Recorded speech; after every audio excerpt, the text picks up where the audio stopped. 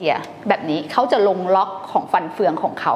วิธีนี้จะช่วยเซฟเครื่องให้ใช้งานได้นานขึ้น ตีให้มันได้เยอะขึ้นนะคะปูแนะนำไซส์แบบว่าประมาณ 20 ลิตรขึ้นไปเลย สวัสดีค่ะครูปูชูการีนะคะ วันนี้ทุกคนจะพามาดูในเรื่องของเครื่องตี หลายคนติดมากเลยว่าเฮ้ยฉันจะใช้เครื่องตีแบบไหนดีนะทั้งในเรื่องของราคาแล้วก็ในเรื่องของการใช้งานนะคะ อย่างที่เคยบอกไปในคลิปของเตาอบนะ เวลาสมมติเวลาที่เราทำอะไรเนาะเราก็ต้องดูเฟสของตัวเองด้วย ว่าเราอยู่ในเฟสไหนอ่าเรามีทุนทรัพย์หรือกำลังเท่าไหร่ในการซื้อ เราจะซื้อในของที่ดีที่สุดสำหรับเฟสนั้นๆ ที่เราทำอยู่นะคะ วันนี้นะคะผู้จะพามาดูรีวิวเครื่องตีนะคะ ที่ตลอดระยะเวลามากกว่า 10 ปีนะคะ ที่ทำร้านเค้กอยู่เนาะดูว่าเครื่องตีแบบไหนที่ทนทานนะคะในการทำ งานเบเกอรี่ของเรานะคะสำหรับตัวที่ 2 นะคะ เราจะเรียกเขาว่า stand mixer ค่ะ ตัว stand mixer นะคะ ราคาเริ่มต้นตั้งแต่แบบ 8,000 ถึง 2-3หมื่นก็มีนะคะนะตัวเนี้ยเป็นตัวของ KitchenAid เนาะรุ่นที่ปูใช้ปูใช้เป็น Heavy Duty คำถามคือทำไมปูถึงใช้ Heavy Duty เพราะว่าปูใช้ในการทำงาน ใช้ในการขายเป็น Commercial Use นะคะ เพราะฉะนั้นก็จะต้องเลือกตัวที่แบบว่าเขาทนนิดหนึ่ง อื่นๆ ก็มีเหมือนกัน เราสามารถเริ่มต้นจากรุ่นแบบว่า Homemade Use แบบนี้ก็ได้เหมือนกันนะคะ เรามาดูตัวที่เป็น Stand Mixer นะ ส่วนมากนะคะเขาจะมีหัวในการตีมาให้นะคะ ทั้งหมดค่ะทุกคน 3 หัวอ่าทุกเครื่องเลยจะมีมาให้เหมือนกัน มีมาให้ 3 หัวนะคะ หัวแรกคือหัวตะก้อหัวตะก้อเนี่ยเราจะใช้ตีไข่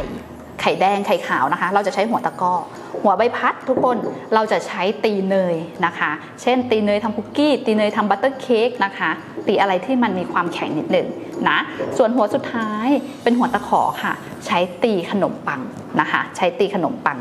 คำถามคือพี่คะราคา 8,000ถึง20,000เนี่ยถึง 20,000 กว่าสำหรับ stand mixer เนี่ยความต่างกันมันคืออะไร ความต่างกันคือความแรงนะความแรงของเครื่องกับ2คือวัสดุ วัสดุของเครื่องที่ต่างกันนะคะสำหรับตัว 8,000 เนี่ย วัสดุอาจจะเป็นแบบว่าอลูมิเนียมทั้งหมด เวลาเราตีเราต้องคอยเช็ดต่างๆนะคะแล้วก็ความแรงของเครื่อง ความดังของเครื่องแบบนี้ อันนี้คือต่างกันที่ราคาเลยนะคะ ส่วน speed ไปดู speed กัน speed ของเครื่อง stand mixer ส่วนมากจะซอยย่อย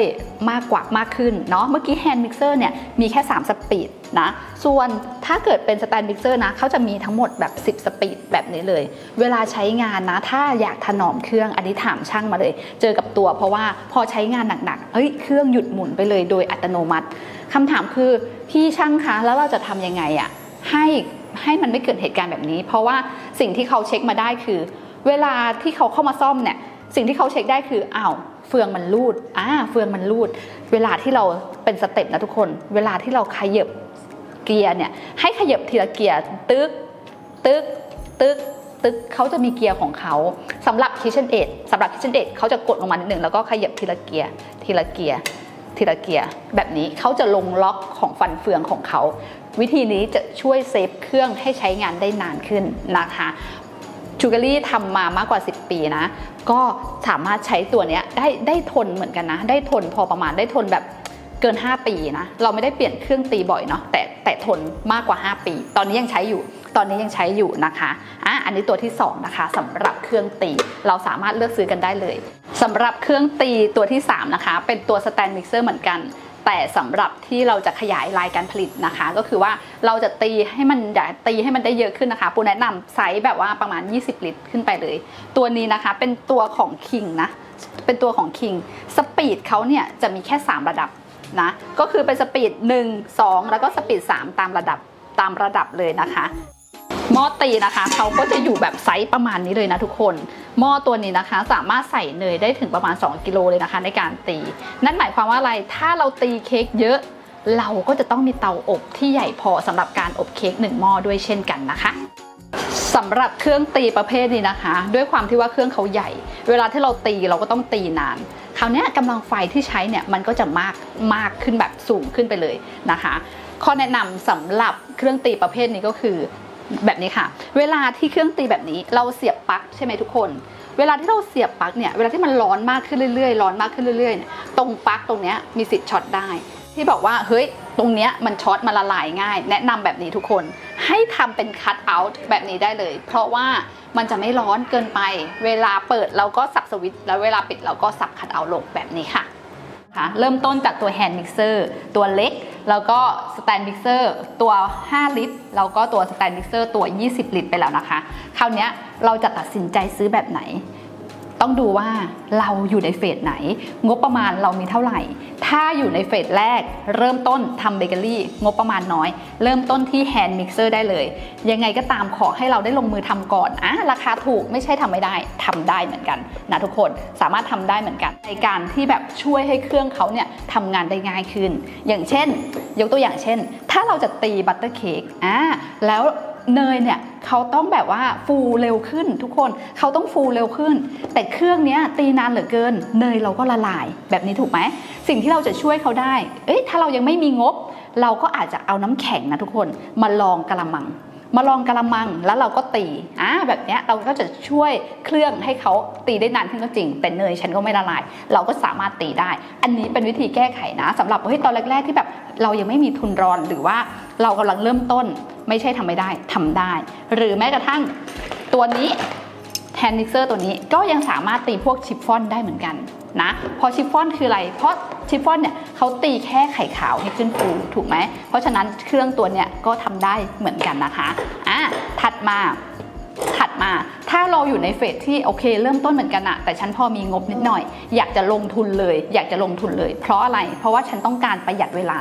hand mixer อาจจะใช้เวลานานในการตี เพราะว่ากำลังไฟเขาน้อย ความแรงเขาก็น้อยนะคะ ก็ขยับไปตัว stand mixer ได้เลย stand mixer อย่างที่บอกมีเริ่มต้นตั้งแต่ 8,000 ยันแบบว่าเฮ้ยสามสี่หมื่นอย่างนี้ก็มีนะทุกคนแล้วแต่ไซส์แล้วแต่ยี่ห้อแล้วแต่รุ่นเขานะคะนะก็สามารถเริ่มต้น stand mixer ได้เลย แนะนำตัวที่มันใช้งานได้ก็อาจจะเป็นแบบ Artisan หรือว่า Smeg เนาะที่แบบว่า